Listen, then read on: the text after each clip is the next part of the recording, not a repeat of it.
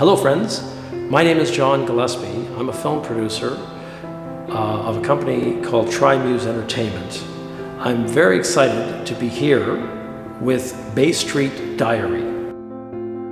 What I'm hoping to do is to share with you my secrets, my insights about the film business and how it works in front and behind the camera. Thank you.